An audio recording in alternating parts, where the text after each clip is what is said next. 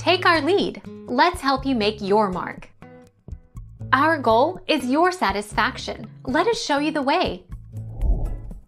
60 inches by 80 inches queen mattress dimensions are 60 inches wide by approximately 80 inches long 7 inches wider and 5 inches longer than a full-size mattress.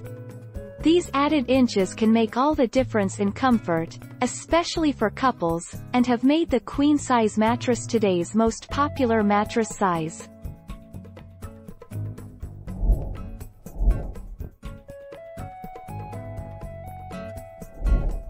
Take our lead. Queen 60 inches by 80 inches. This is the first genuine, double, bed size and is the most popular of the mattress sizes U.S. manufacturers offer.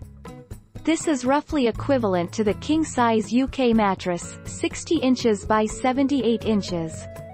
Many taller people use this as a single because they can move about on it better than smaller mattresses.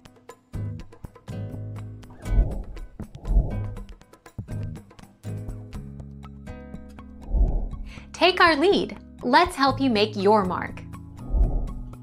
A queen bed is 6 inches wider than a double bed, allowing more room for each person, but still 9 inches less than a twin bed. Double beds also known as full, were the most common for two to sleep in until the 1960s. They're only 15 inches wider than a single bed, leaving only 27 inches of sleep space for each of two adults.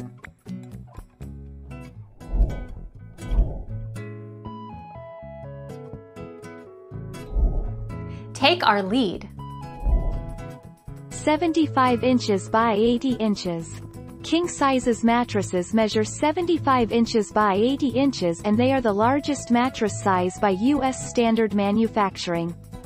Due to their size, king-size mattresses and mattress sets are most commonly more expensive and more difficult to move. Thank you for watching. Please subscribe and hit the bell notification.